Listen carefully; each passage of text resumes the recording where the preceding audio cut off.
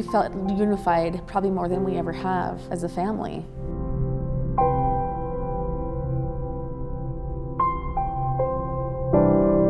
I wouldn't be here without the National Ability Center in my life. When I got out of the military in 2011, I came back and I was in a pretty dark spot in my life. And I got injured while I was on deployment. My back, I, I uh, herniated nine discs in my back and fractured part of my spine. And then once I got out, I just kind of felt lost and, and alone uh, from, my, from my wounds and from the things that I couldn't do what I used to be able to do. So I signed up with Wounded Warrior Project, and the, the next week um, there, was an, there was a ski activity up here at the National Ability Center.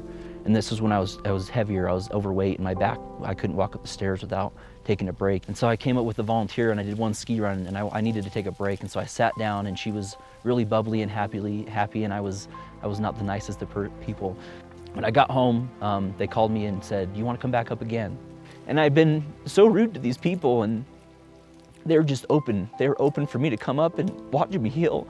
And so the next time I came up, they gave me an old crusty Vietnam veteran to go skiing with, and we just cursed the skies on the lift and had the best time. This gentleman in this organization empowered me to just to get out. I've come along quite a bit to know that there was a, it was my time to give back. It's been the most positive job I've ever had in my life. It's, it's changed my life.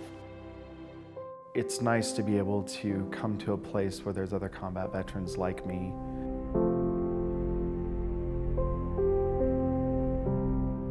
recreational therapy has saved my life. When I'm cycling, I'm not thinking about the war.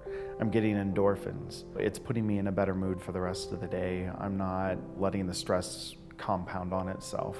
And in doing that, I mean, there's the healing process right there. So you're no longer the monster in your house. You're now dad again. But when we come up here, it's kind of a safe haven for our family. Just to be able to have a place to be a family and recreate and have fun and laugh. Laughter is priceless. Our kids are happy. They find other kids that are like them, that live with veterans and get it. And I find other spouses and he finds other veterans and we connect. You're in the military and you know everybody in the military fits in that box with you.